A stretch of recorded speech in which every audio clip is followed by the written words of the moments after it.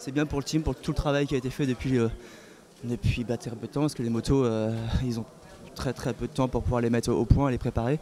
Donc il y a eu un, travail de titan au niveau de tout le staff technique. Donc je pense que c'est déjà une belle récompense avant le départ.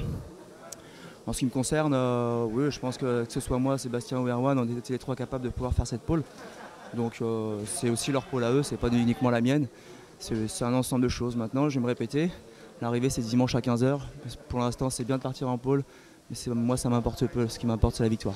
On a travaillé dur, on a, on a préparé une bonne moto. Je pense qu'on a, on, on a montré que la BM c'est un bon package. On a des super bons pilotes.